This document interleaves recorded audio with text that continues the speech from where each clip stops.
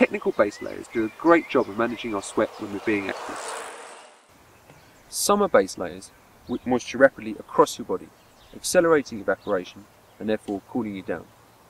In winter, you need your base layer to wick moisture away from your body, maintaining an insulation gap and keeping you warm.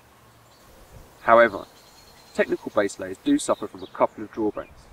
Firstly, and especially with synthetic fabrics, they can soon start to really stink, so much that normal washing detergent often fails to freshen them up. Secondly, a base layer's wicking performance can actually be inhibited by normal fabric detergents, and especially fabric conditioners. Nikwax has a range of solutions to these problems, depending on how you prefer to do your washing. All these products remove and prevent odour buildup, whilst also improving wicking performance for faster evaporation. BaseWash for synthetics and wool wash for woolen base layers go into your detergent drawer and are used instead of your standard detergent. These are a good option if you're washing a lot of base layers at the same time.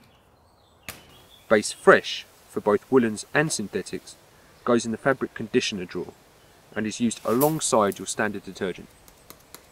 This is a good option if you want to wash your base layers at the same time as other clothes, but still maintain their performance.